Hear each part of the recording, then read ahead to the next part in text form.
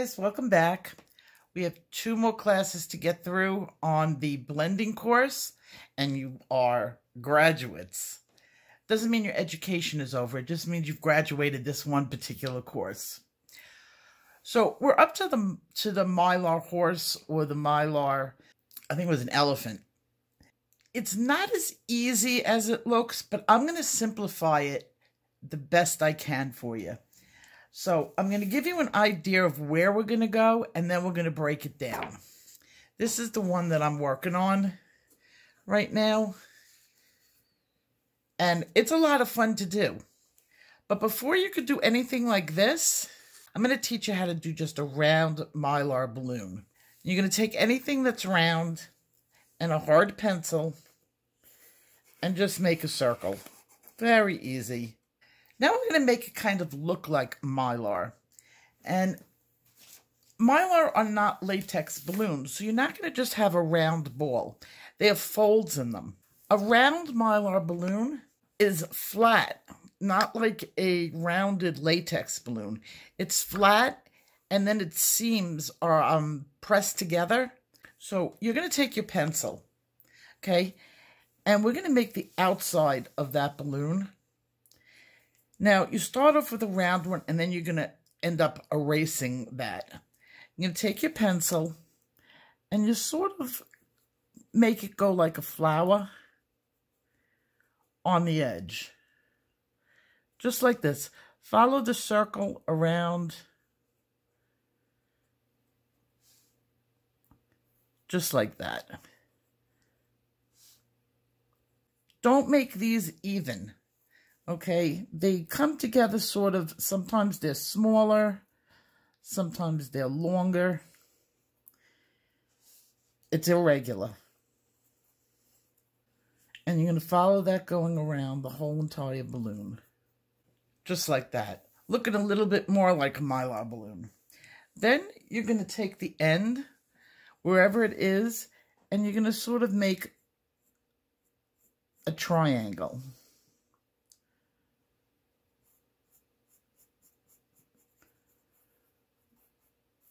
When I was working on the horse, I didn't really put in the end ones because when you make them into an object, you kind of tuck those ends in.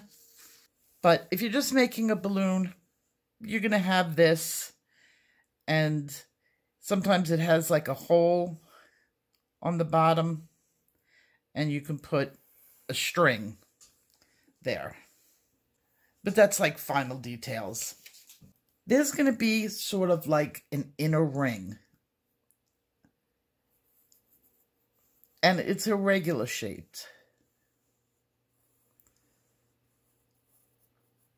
This is going to be where the balloon starts to flatten out. You're going to sort of come in. So it's going to sort of look petal-like or flower-like. Not too difficult. Now, on the edge over here, okay, you're going to make little folds, but the folds are kind of, just put guidelines. And you're going to add more of them, but just guidelines going around so you can see where you're going with this. Look how easy that is. And now we're ready to add some color with all drawings, once you're happy with your sketch, you're going to get out an eraser and you're going to lighten up your lines. And they should be about as light that you could see them, but you they're not going to interfere with your picture and your color. Okay, so that should not interrupt what we're doing or show through. Now, you're going to pick out four pencils. You're going to get out a white.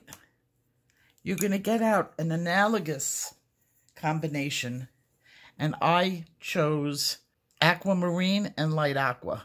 You can choose any analogous colors. You have to just make sure your undertones are the same. Now, I gave you all those cards in the book and all your analogous combinations. You can use any one if they're already written down for you. So that's the combination that I'm choosing to use today. You're going to need a black and you're going to need a white. If you're using an inexpensive set, at least use a Prismacolor white. My choice for whites is Holbein white, but it's very hard to get. My second choice is um, Derwent Chinese white drawing pencil. And those are the two that basically I stick with. They're very soft white and um, opaque. What I'm going to do is I'm going to start with my highlights and where I'm going to put them in. Easier if you choose a balloon to use as a guide. You don't have to do exactly that balloon, but just as a simple guide, and I have one right here. And you could pick any Mylar balloon off the internet. And I'm going to start putting down some of my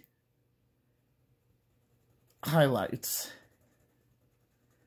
There, and then we have some highlights going over here.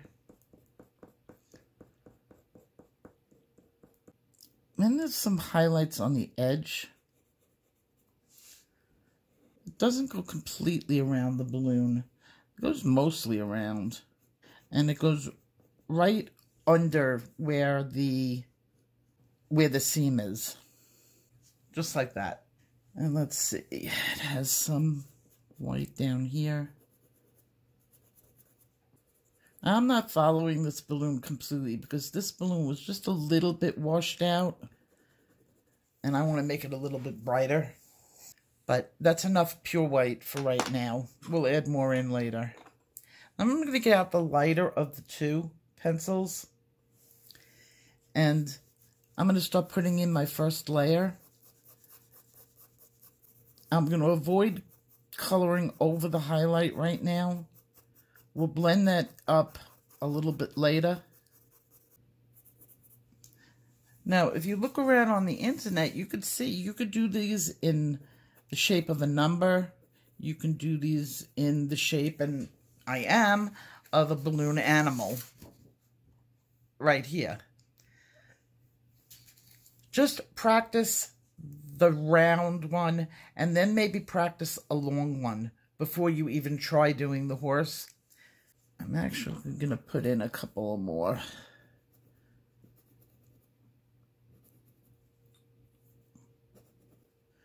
And I'm going in between those highlights, not covering them up. Okay, while I was doing that first layer in the middle, I also added some wider whited uh, highlighted areas. And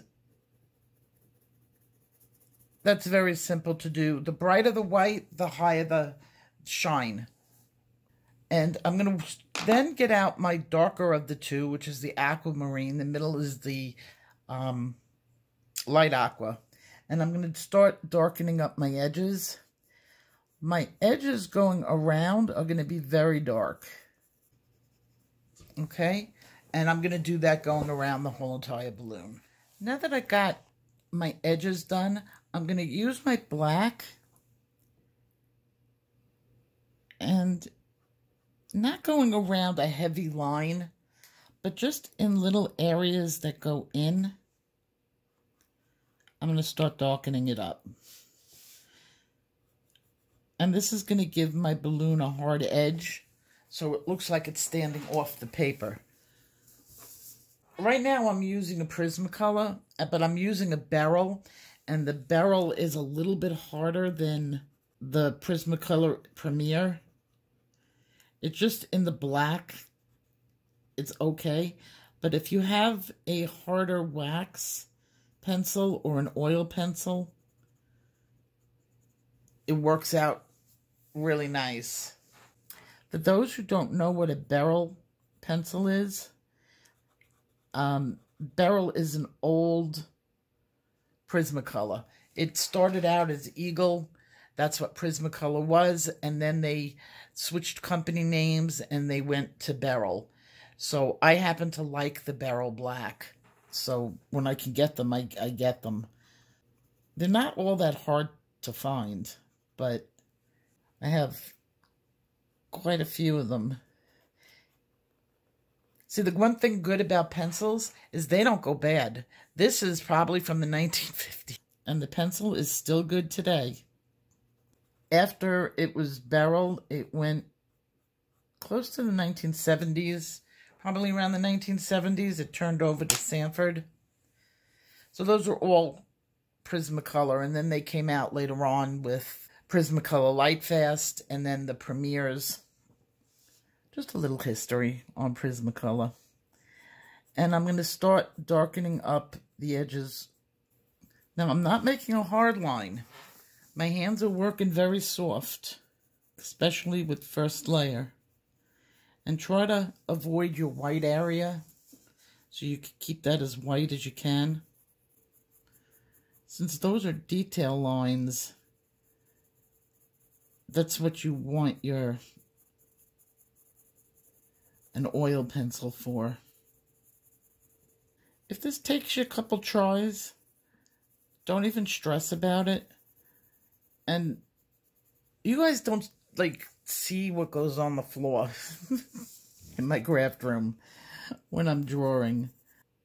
Whenever I'm, like, working out, like, a step-by-step -step like this, takes me several tries. Sometimes it, it hits the nail the first time. I know some people, oh, I had to do it two, three times. I'm like, yeah. and? Especially when it's a new technique. You got to wait for yourself to have that happy accident where all of a sudden it works. And then it just happens. Why I chose to teach you the Mylar balloon is because while it's got like where your lights are supposed to be, it's not that strict because your lights could be coming in from anywhere. After this course is over, then the hard work begins. Then you don't have as much artistic freedom. Now, what is she talking about? You will see. The next step in your artistic growth, when we take the training wheels off of you and you become real artists, you see what's happening to it? Looking more and more like a mylar balloon, huh? And it's just layer after layer. And you can see it's taking me a long time and it's just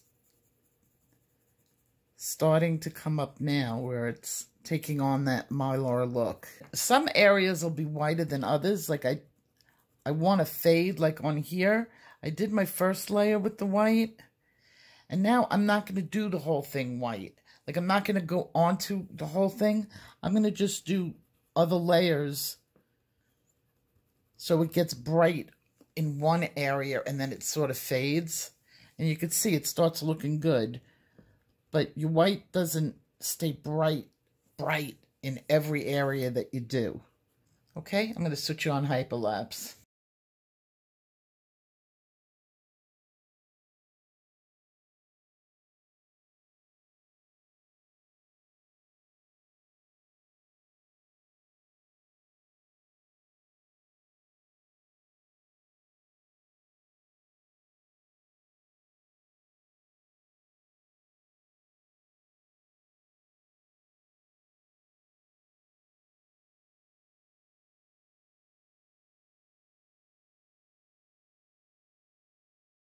Now I want to bring in my black pencil. Actually, I've been bringing in my black.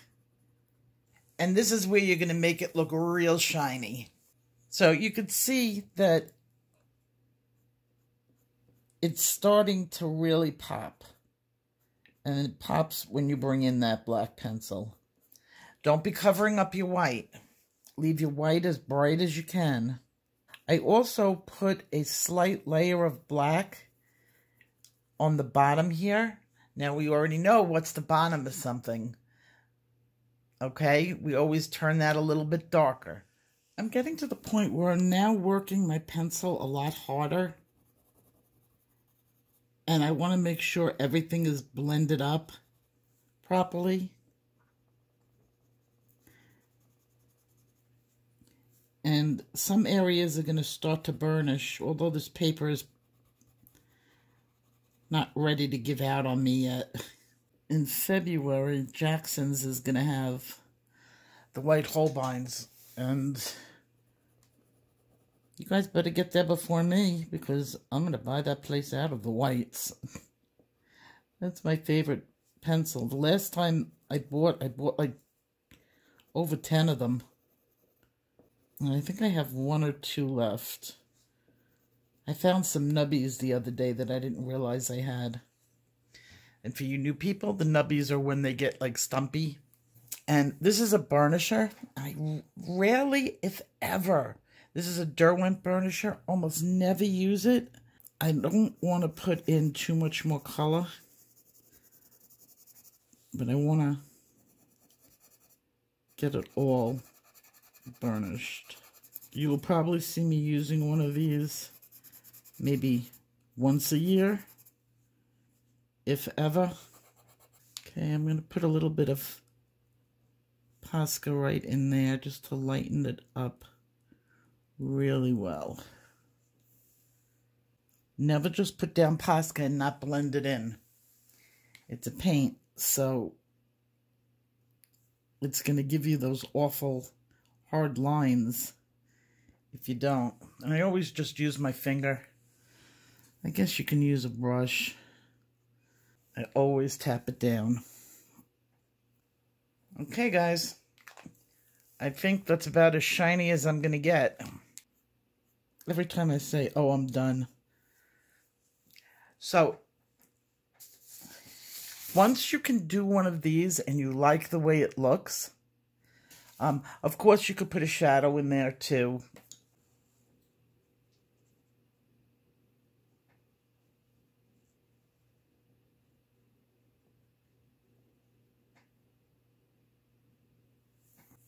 Not going to put too much of a shadow because my light source is coming from the front. Sort of hitting here. So there would be a little bit of a shadow there. But that's up to you on how your you want your lighting to be. Then I'm going to put the occlusive shadow in. A little bit darker and that's a C1 Copic that I do my shadows in. I do C1 through C3 and W1 through W3. And this is the sketch line of markers. They're about $8 a piece on an average, but you can absolutely do better than that in price. Um, use that as a starting point use coupons, do sales. But you should own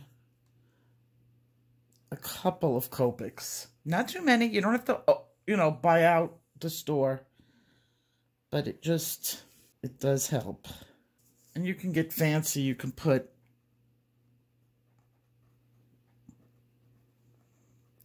a knot in there. you have fun. So now that you can do the balloon, you can move on to the pictures from the book.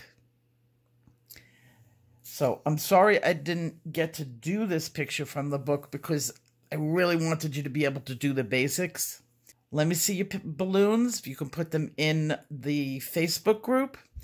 Any of my mods can help you, and I'm bouncing in and out of there all the time. If you have any questions for me, my email is always open to you. It's in the description box below. If you haven't taken this course yet, I recommend it. We're in our second to last class, but all the classes are in the book and online. And you can find that on my Etsy shop. So with that, I'm going to say goodbye and we have one more class, and that's going to be a fun one. Not too difficult, kind of along this line, but a lot more fun. So I will see you in our next class. Take care. Bye-bye.